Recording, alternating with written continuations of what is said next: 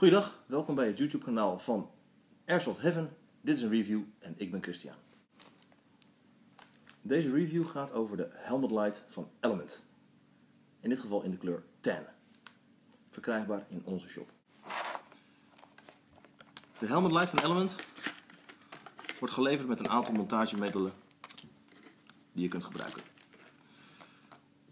Voor op de rails een montage voor bijvoorbeeld een tactical cap en een gebruiksaanwijzing. En verder heeft de helm een montage voorop een MIG-helm. Deze kan met de juiste adapter ook worden gemonteerd op een vasthelm. De batterij gaat naar de achterkant erin, wordt helaas niet meegeleverd.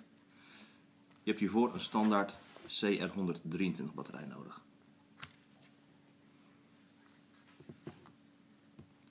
Goed aandraaien.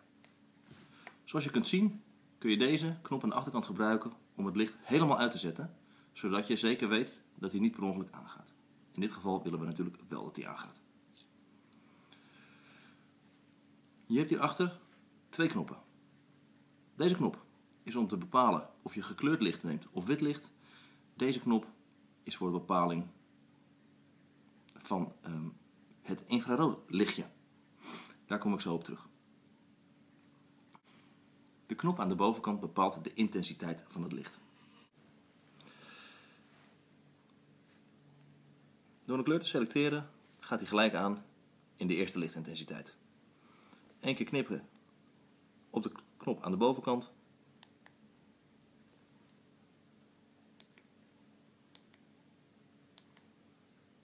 En zo heb je dus in totaal drie standen. Knop overhalen via uit naar de andere kant en weer idem dito met drie verschillende standen. Ideaal voor tactisch gebruik, voor bijvoorbeeld kaartlezen. De laatste knop voor infrarood. Het infraroodlichtje zit hier en bij inschakelen knippert deze zachtjes.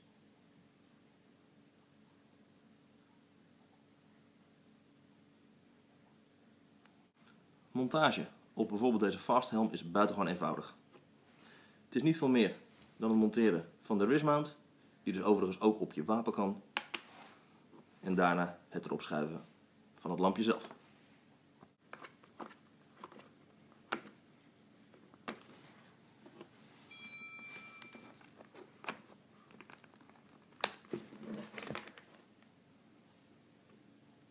En je bent klaar voor het tactisch optreden. Voor montage op de MIG-helm gebruik je de bijgeleverde mount. Schroeven losdraaien. Beugel eraf halen. De beugel schuif je op je MIG-helm.